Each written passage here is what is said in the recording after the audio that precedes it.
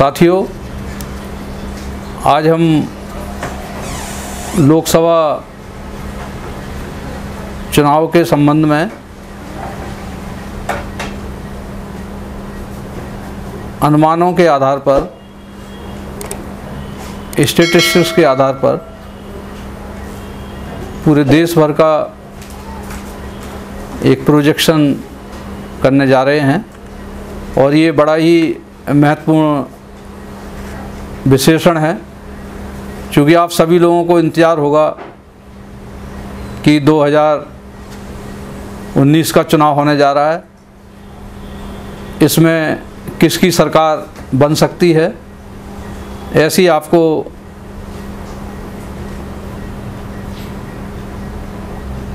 ज़रूरत महसूस हो रही होगी। तो मैं आपको पता होगा कि स्टेट वाइज अगर हम विश्लेषण करेंगे, तभी हमें ये नंबर प्राप्त हो सकते हैं। क्योंकि ये पूरे देश का विश्लेषण करना बड़ा ही कठिन काम है। हमारा देश विभिन्न जातियों, धर्मों, संस्कृतियों, भाषाओं में बटा हुआ है। सबसे पहले आपने देखा होगा कि हाँ एक बार और मैं बताना चाहता था एक बात कि अलग अलग जो स्टेट हैं, उसमें संस्कृतियाँ, भाषाएँ, संप्रदाय, जातियाँ, ये सब चीज़ें तो हैं ही। इसके साथ साथ इस समय पूरे देश भर में कोई ऐसी एक राजनीतिक पार्टी नहीं है, जिसका पूरे देश में एक सा प्रभाव हो। इसलिए हमारे देश में जो राष्ट्रीय पार्टियाँ बनी हुई हैं उसमें ख़ास तौर से राष्ट्रीय पार्टियों में पहले नंबर पे जो इस समय वोट के आधार पर पार्टी है, वो भारतीय जनता पार्टी आती है। दूसरे नंबर पर वोट के आधार पर जो राष्ट्रीय पार्टी है, वो भारतीय राष्ट्रीय कांग्रेस आती है। तीसरे नंबर पर जो राष्ट्रीय पार्टी में बहुजन समाज पार्टी आती है और इसी तरह से चौथे नंबर पर सी पी आई एम और दो ऐसी पार्टियाँ हैं जिनका बहुत कम आधार है एन सी पी और ये। तो इस तरह से छह पार्टियाँ हमारे देश में राष्ट्रीय पार्टियाँ हैं। तो इसमें जो वजूद वाली पार्टियाँ जैसे कह सकते हैं, वो तीन ही पार्टियाँ हैं, भारतीय राष्ट्रीय कांग्रेस, भारतीय जनता पार्टी और बहुजन समाज पार्टी। इनका जनाधार जो आप देखेंगे तो पूरे देश में इनका आधार वोट है। लेकिन इफ़ेक्टिवनेस जो है आ, किसी स्टेट में किसी पार्टी की है किसी स्टेट में किसी पार्टी की है। और बहुत सारी स्टेट ऐसी हैं जिसमें क्षेत्रीय पार्टियों की ज़्यादा वजूद है। तो इसलिए सबसे पहले हम आंध्र प्रदेश में चलते हैं। आंध्र प्रदेश में 25 सीटें हैं लोकसभा की। इसमें से आपने देखा होगा हमने गठबंधन के आधार पर तीन भागों में बांटा है। नंबर एक जो गठबंधन है वो एनडीए का है जो भाजपा की लीडरशिप में है। दूसरा गठबंधन यूपीए का है, जो भारतीय राष्ट्रीय कांग्रेस के लीडरशिप में है। और तीसरा जो स्वतंत्र गठबंधन है, जो अलग अलग स्टेट में उनका गठबंधन है, और उसका पूरे देश भर में जो लीडरशिप है, वो इलेक्शन के बाद में डिसाइड होगी। तो इस तरह से इनको आप देखेंगे कि कितनी कितनी सीटें इनको अलग अलग स्टेट में मिल रही हैं। तो सबसे पहले आंध्रा में हम देखेंगे। आंध्रा में 25 सीटों में से जो एनडीए को मैक्सिमम एक सीट मिलने जा रही है। और यूपीए के लिए वहाँ पर कोई सीट नहीं मिल पा रही है। लेकिन आप देखेंगे जो गठबंधन है, जो छोटा गठबंधन जो उधर का, जैसे जगन मोहन रेड्डी की कांग्रेस है, चंद्रबाबू नायडू की टीडीपी है, ये 24 और 25 सीट लेकर के आ रहे हैं। अरुणाचल प्रदेश में दो सीटें हैं, दो में से एनडीए और अदर्स के लिए एक एक सीट मिल रही है। असम में चौदह सीटें हैं। चौदह में से दो एनडीए के लिए और दो से ले लेके आठ तक यूपीए के लिए और तीन से ले लेके दस तक अदर्स के लिए मिल रही हैं। बिहार में चालीस सीटें हैं। चालीस में से पाँच से लेकर के आठ तक एनडीए के गठबंधन को हैं और दो से लेके आठ तक यूपीए के गठबंधन को और तीन से दस तक अदर्स के लिए मिल सकती हैं। बिहार में चालीस सीटें हैं और यहाँ पे ख़ास तौर से दो गठबंधन प्रभावी हैं। एक में जो आरजेडी है जो लालू प्रसाद जी की पार्टी के नाम से जानी जाती है, दूसरी नीतीश कुमार की पार्टी है और भारतीय राष्ट्रीय कांग्रेस जनता दल के साथ में है। और नीतीश कुमार जी की जो यूनाइटेड जनता दल है, उसके साथ में आपका जो गठबंधन है, वो बीजेपी के साथ में है।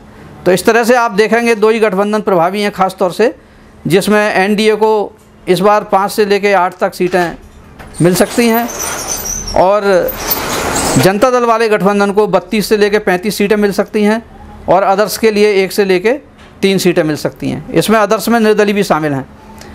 छत्तीसगढ़ में आप देखेंगे तो छत्तीसगढ़ में ग्यारह सीटें हैं। ग्यारह में से एनडीए को ज़ीरो से एक सीट मिलती हुई दिख रही है और यूपीए के लिए आपका नौ से लेकर दस सीटें मिलती दिख रही हैं और अदर्स के लिए भी ज़ीरो से लेकर दो सीटें मिलती दिख रही हैं। गोवा में दो सीटें हैं। दो में से एक सीट जो है आपको एनडीए को मिल सकती है और एक सीट जो है अदर्स को मिल सकती है। इसी तरह से गुजरात में गुजरात में 26 सीटें हैं। ये बहुत ही इम्पोर्टेंट स्टेट है, क्योंकि ये भाजपा का मेन गढ़ रहा है और नरेंद्र भाई मोदी जो वर्तमान में प्रधानमंत्री हैं, वो भी इसी स्टेट से ही आते हैं। तो इसमें 26 सीटों में से इस बार भाजपा को घाटा दिख रहा है। 12 से 13 सीटें यहाँ पे मिलती दिख रही हैं और इसके लिए, यूपीए के लिए आपका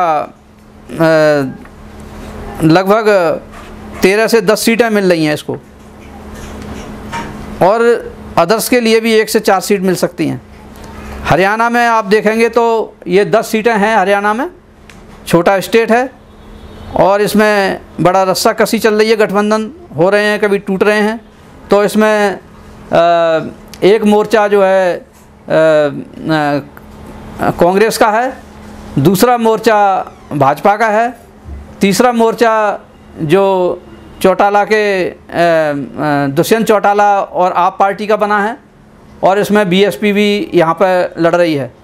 तो ये बड़ा ही क्रूशल स्टेट है। दस सीटों में से किसकी कितने खाते में जाएँगी, इसको अगर हम नज़र डालें तो तीन से लेकर पाँच सीटें तक एनडीए के गठबंधन को मिल सकती हैं और तीन से पाँच के बीच में ही यूपीए के बीच में रहेंगी और चार से पाँच तक अदर्स में भी जा सकती हैं। तीनों जगह यहाँ पे बटने की संभावना दिख रही है। हिमाचल प्रदेश छोटा स्टेट है, चार इसमें एमपी की सीटें हैं।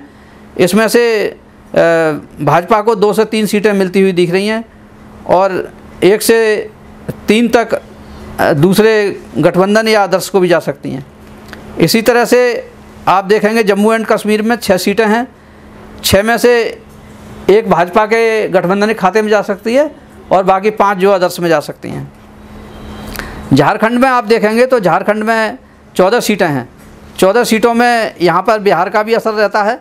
तो इसमें से चौदह में से तीन से लेके पाँच तक सीटें एनडीए गठबंधन को जा सकती हैं और एनडीए गठबंधन की उधर सरकार भी चल रही है झारखंड में। तीन से पाँच तक सीटें अदर्स को जा सकती हैं, जिसमें मतलब ट्राइबल पार्टी भी हैं, कांग्रेस भी है और जनता दल भी है, एनसीपी भी यहाँ लड़ती है। इस तरह से अदर्स में भी चार सीटें जाने की इसमें संभावना दिख रही है। कर्नाटक में आप देखेंगे तो कर्नाटक में टोटल 28 सीटें हैं। 28 में से 8 और 9 के बीच में इसमें बीजेपी गठबंधन को मिल सकती हैं और 8 और 9 के बीच में ही कांग्रेस गठबंधन को। अदर्स के अदर्स में भी जानते हैं आप इसमें आ, उनकी देवगौड़ा की जो पार्टी है जनता दल सेकुलर जनता दल उसके लिए भी और यहाँ पर ओवैसी हैं उनकी भी पार्टी है। तो इसमें अदर्स में से मुझे लग रहा है दस से बारह तक अदर्स को भी इसमें जाती हुई दिख रही हैं। केरला में बीस सीटें हैं और केरला से आपने सुना होगा कि राहुल गांधी भी यहाँ से जो भारतीय राष्ट्रीय कांग्रेस के अध्यक्ष हैं, लड़ रहे हैं और यहाँ पर बीजेपी का कोई बहुत बड़ा जनाधार नहीं है, लेकिन फिर भी यहाँ पे एक सीट बीजेपी गठबंधन को जाती हुई लग रही है और पाँच से आठ तक यूपीए गठबंधन को लग रही हैं और यहाँ सीपीआई सीपीएम इनका भी काफ़ी बड़ा जनाधार है तो अदर्स में भी ग्यारह से पंद्रह सीटें तक जाती हुई दिख रही हैं। मध्य प्रदेश में आप देखेंगे तो यहाँ पर उनतीस सीटें हैं।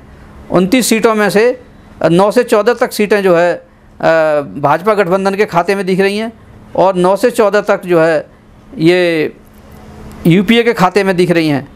और एक से और ग्यारह के बीच में अदर्स के भी जाती हुई दिख रही हैं।